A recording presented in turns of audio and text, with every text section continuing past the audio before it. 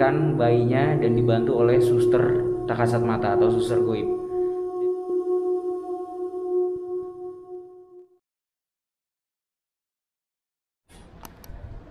Oke teman semua, hari ini gue lagi berada di daerah Kertosono, tepatnya di Rumah Sakit Lama Kertosono. Jadi rumah sakit ini udah terbengkalai cuy.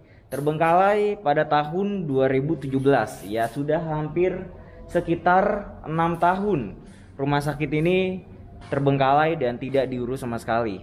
Dan katanya sih terbengkalai karena memang bangunannya yang kecil dan sudah tidak layak untuk di gunakan dan dipindahkan ke bangunan rumah sakit Kertosono yang baru. Jadi di lokasi inilah banyak banget cerita-cerita yang beredar di mana ada seorang ibu yang melahirkan dibantu oleh sosok goib dan juga ada suster yang bernama Suster Widya. Dia meninggal karena terjatuh dari lantai atas ke bawah. Dan secara detailnya kita akan coba untuk membahas sekaligus untuk mengeksplorasi lokasi ini. Seperti apa lokasi sekarang ini? Rumah Sakit Kertosono Lama. Kita coba untuk eksplor aja ke bagian dalamnya cuy. Ya inilah Rumah Sakit Kertosono Lama yang memang sekarang ini sudah tidak digunakan sama sekali dan menjadi tempat horor yang ada di daerah Jawa Timur dan ini adalah rumah sakit yang menurut gue cukup bagus karena apa dari segi cerita bahkan mitos-mitos yang beredar lokasi ini memang sebagai tempat predikat horor yang ada di Jawa Timur atau rumah sakit angker Jawa Timur yaitu Kertosono. Jadi ini bagian depan adalah bagian bangunan informasinya dan bagian gedung kiri yang berantaikan dua itu adalah tempat kejadian yang tadi gue udah jelaskan. Ada suster yang meninggal karena jatuh dari lantai dua ke lantai satu. Dan kita coba untuk menelusuri bagian yang ada di sebelah sini karena apa? di bagian sebelah sini adalah bagian di mana pernah ada kejadian seorang ibu melahirkan di rumah sakit terbengkalai ini dan dibantu oleh suster-suster tak kasat mata atau suster goib cuy.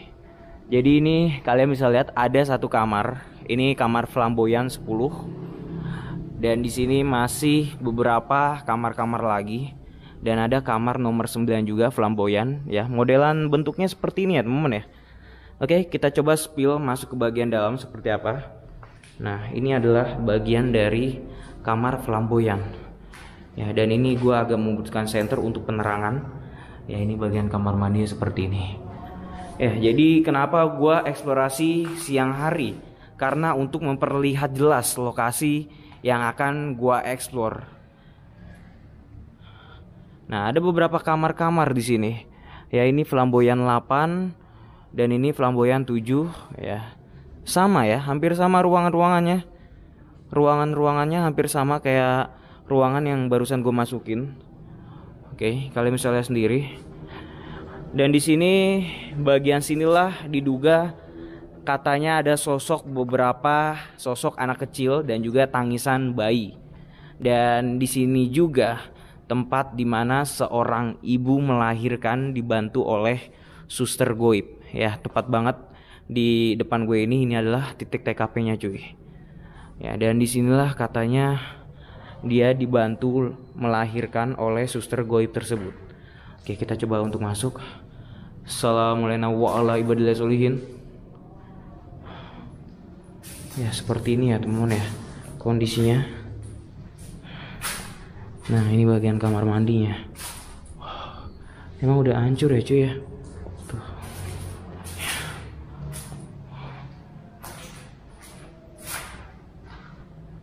Ya, mungkin kalian bisa lihat kondisinya. Jadi si ibunya tersebut itu mengalami kejadian yang tidak diduga di mana di tempat inilah dia melahirkan bayinya dan dibantu oleh suster tak kasat mata atau suster goib. Dan menurutku ini cukup keren juga sih. Mitos-mitosnya yang ada di sini. Bahkan menurut gua lokasi ini memang agak sedikit mencengkam mungkin karena dari segi bangunannya sudah lama dan beberapa cerita-cerita yang ada di lokasi ini membuat lokasi ini seram cuy. Oke kita coba untuk eksplorasi aja ke bagian sana seperti apa kondisi dari rumah sakit Kertosono saat ini cuy. Ya kalian bisa lihat sendiri kan? Bangunannya sih seperti ini ya. Tuh dan ini ada ruangan. Assalamualaikum.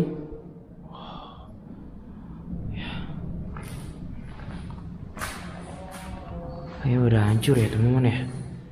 Tuh. Nggak dirawat sama sekali cuy. Ini bangunannya sudah tidak dirawat sama sekali Dari bangunannya juga udah tapak-tapaknya udah hancur.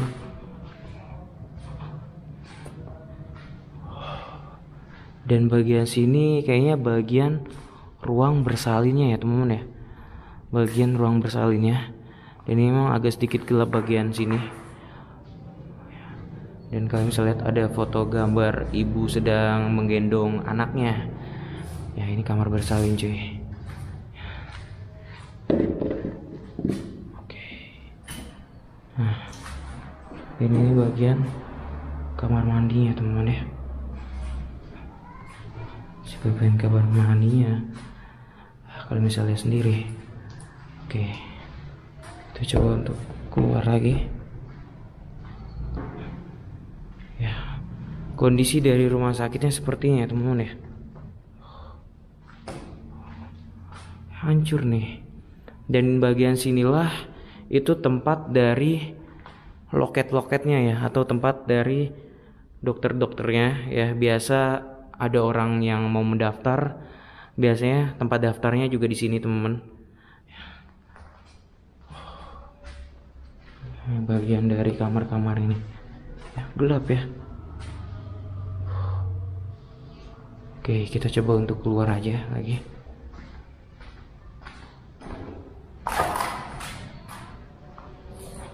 Karena ini lokasinya lumayan sih, lumayan besar dan juga kamar jenazah di sini katanya sudah dihancurkan, cuy. Kamar jenazah yang ada di sini sudah dihancurkan. Oke, kita coba jalan-jalan ke bagian sini. Ya, ini ada patung binatang di sini karena memang ini bagian area ruang bersalinnya cuy nah ya tuh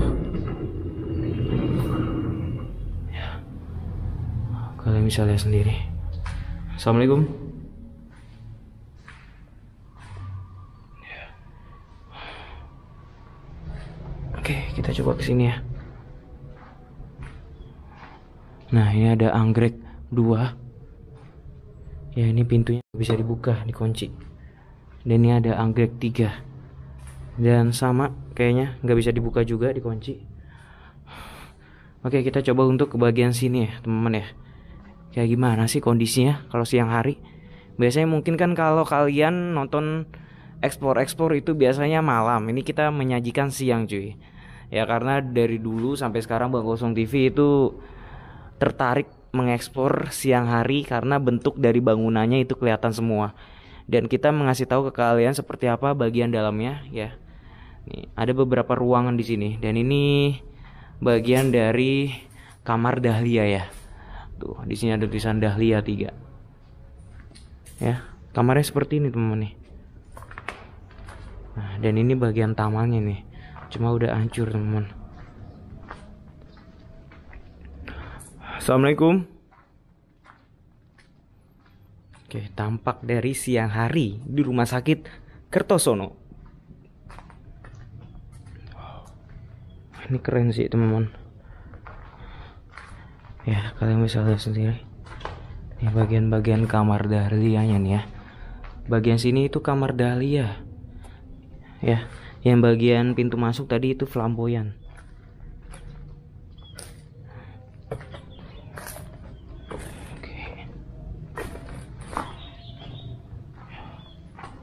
Nah ini bagian-bagian dari belakangnya. Coba ke sini. Dan ini banyak banget baju-baju dokter di sini cuy. Tuh dan juga beberapa selimut di sini. Nah jadi di bagian belakang sana itu katanya bekas kamar jenazah teman-teman. Oke coba kita tengok ya. Kita lihat sedikit bagian belakangnya seperti apa.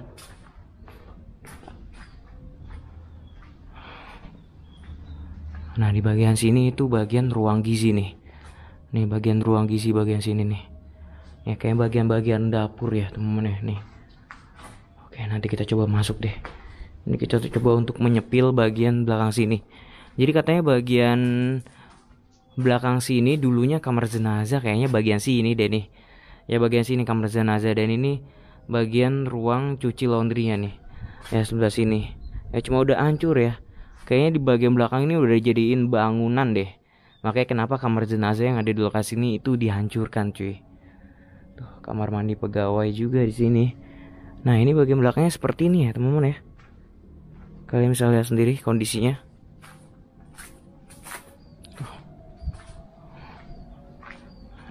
Ya. Seperti ini ya.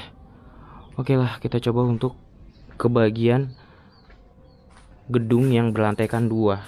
Yang di mana suster Lydia sorry suster Widya itu terjatuh dari lantai dua ke lantai satu dan meninggal dunia dan kejadian tersebut itu pada tahun 1997 oke kita kayak ke bagian sini dulu Assalamualaikum. Ini kayak bagian dapur gitu cuy. Oh. Ya. Kayak bagian dapur gitu ini bentukannya.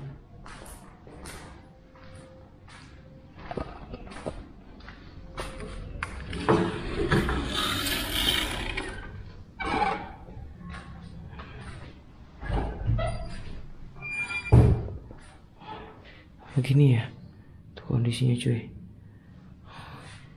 Bagian dapur-dapur gitu nih. Kan? Kalian bisa lihat. Tuh ada lorong juga nih ke sana. Ini kayak lorong belakang ya sana ya. Oke kita coba ke sini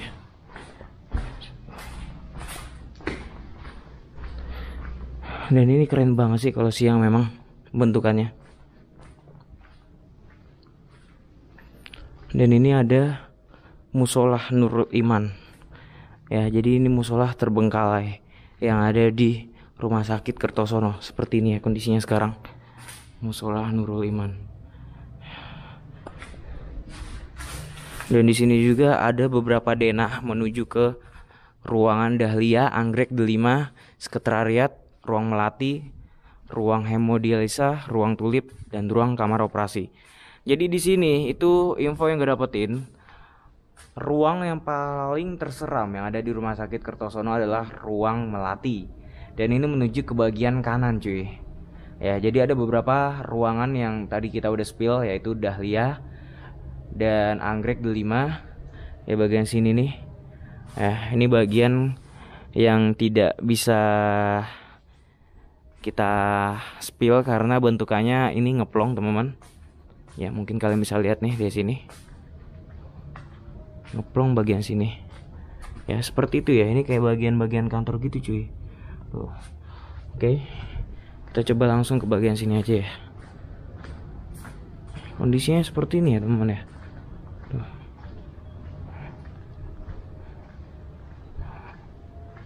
Iya Oke, kayaknya kita ke bagian sini ya. Tempat di mana lantai dua yang menjadi tempat saksi bisu akan kejadian Suster Widya terjatuh terpeleset ke lantai satu. Dan di sini kalian bisa lihat nih ruangan-ruangannya di sini. Ya ini gue nggak tahu nih ruangan apa nih. Nanti kita coba lihat ya. Kelihatan sih dari sini nih ruangan-ruangannya. Hmm. Dan ini memang di belakangnya itu rumah warga ya teman-teman ya. Mungkin kalian bisa lihat sendiri. Ya ini rumah-rumah warga. Dan ini kita ke bagian atas ini. Oke ini adalah lantai dua dari rumah sakit Kertosononya cuy. Ya. Dan ini ruang melati dua nih Katanya sih ruang Melati dua ini adalah ruang anak-anak ya. Mungkin kita akan lihat seperti apa ruang Melati. Nah, di sini tuh kayak obat apa nih? Kayak bekas-bekas obat gitu, cuy.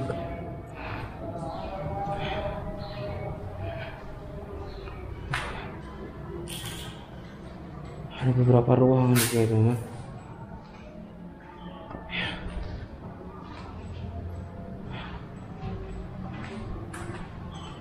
Seperti ini doang ya bagiannya ya. Ruang melatih ya.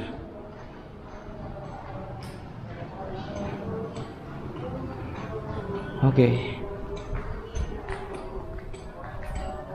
Kita coba untuk ke bagian sini. Dan ini bagian lift ya teman-teman ya. Ini bagian lift untuk menuju ke lantai satu. Katanya sih bagian deket lift sih suster Widianya terjatuh. Ya dia kepleset ya ya jadi si suster Widya ini kepleset dari lantai 2 ke lantai satu. Ya rumornya seperti itu teman-teman. Tuh kan kalian bisa lihat kan ini ada beberapa gambar-gambar kayak Hello Kitty Heropi ya. Tuh banyak banget gambar-gambar kartun di sini karena bagian sinilah dijadikan tempat ruang anak-anak. Ya ruang inap anak-anak guys. Oke dan ini ruang melati satu ya kita coba untuk turun aja ya dari rumah sakit Kertosono ini dan kita menuju ke bagian kamar operasi di mana kamar operasi ini dianggap sebagai kamar terseram yang ada di lokasi rumah sakit Kertosono ini. Dan di sanalah banyak mitos yang beredar. Katanya ada sosok kuntilanak di lokasi tersebut dan juga di bagian belakang sana. Ya di situ ada ruangan. Gua nggak tahu ruangan apa. Apa mungkin itu ruangan melati? Kita coba untuk tengok aja ke bagian lorong sana cuy. Ya ini adalah tempat dari instalasi hemodialisa. Bagian sini nih cuy. Ya kalian bisa lihat sendiri. Seperti ini lokasinya nih.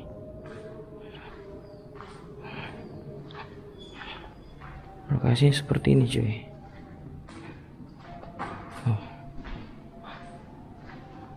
bagian kamar mandi. Nah, ada beberapa ruangan skat-skat di sini.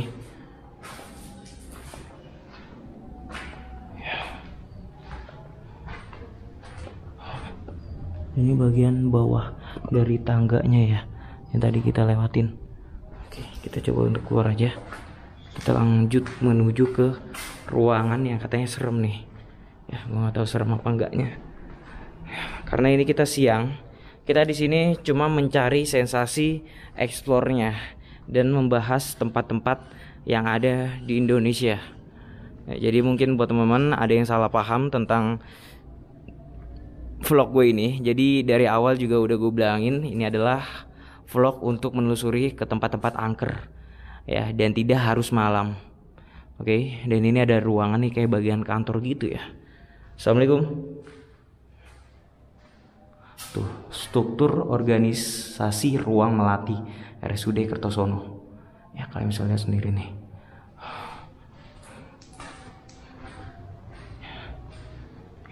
seperti ini ya bagiannya ini bagian kamar mandi. Dan ini juga bagian ya bagian gudang gitu cuy tuh.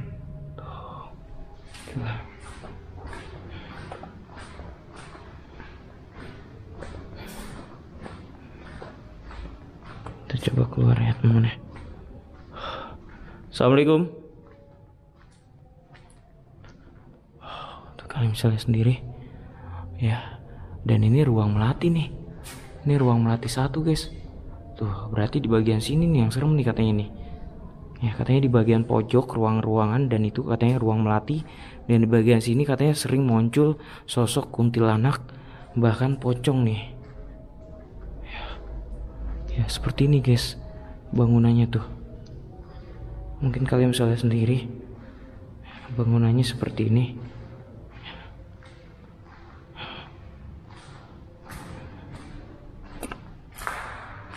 Bagian sini nih. Yang kamar mandi.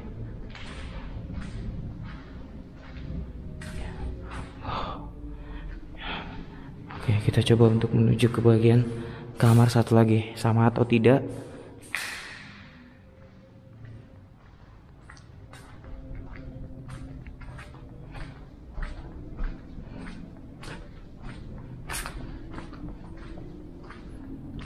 sepertinya sama ya teman-teman ya. Bangunannya tuh ya sama ya. Sama kayak ruangan-ruangan melati yang tadi gua masukin. Oke kita coba untuk menuju ke bagian kamar operasinya teman-teman. Ya.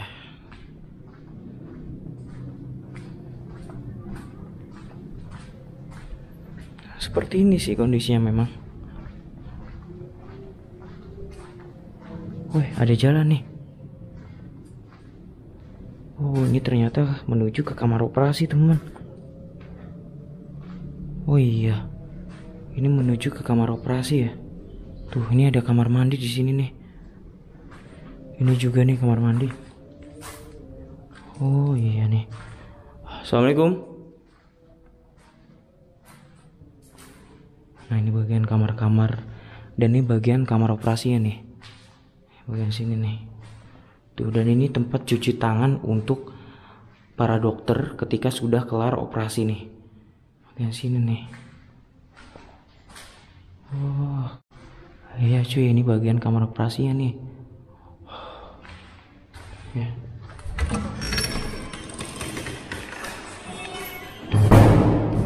Itu kaget gua. Pintunya aja udah rusak ternyata. Oke. Ya seperti ini ya, ini bagian kamar operasinya juga nih.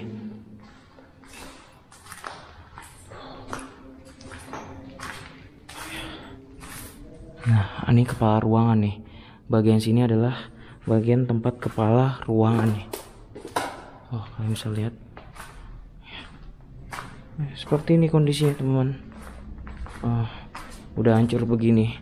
Dan ini kita menuju ke bagian titik awal lagi nih. Ya, dan itu bagian yang tadi kita naik ke tangga bagian situ. Dan bagian ruang isolasinya bagian sini. Ini keren sih teman-teman. Kalian mungkin bisa lihat sendiri penampakan dari rumah sakit Kertosono kayak gimana. Ya seperti itulah penampakan dari Rumah Sakit Kertosono saat ini dan kondisinya mungkin kalian bisa lihat sendiri dan kalian bisa nilai seperti apa sensasinya ketika siang hari di rumah sakit terbengkalai yang ada di daerah Kertosono. Dan mungkin cukup segitu aja eksplorasi gue di Rumah Sakit Kertosono yang ada di daerah Jawa Timur dan buat teman-teman yang baru berkunjung Bang Usong TV gue minta supportnya dengan cara like, comment, share sebaik-baiknya jangan lupa subscribe channel gue ini Semoga channel gue ini nama makin maju dan terus menghibur kalian semua. So, akhir kata nama gue Rusdi Ramadan selaku guna akun Bang Gosong TV. Mengucapkan terima kasih. Wassalamualaikum warahmatullahi wabarakatuh. Thank you banget buat teman-teman yang baru bergabung dan juga yang sudah lama bergabung. Dan sampai jumpa di esok hari. See you teman-teman. Bye semuanya.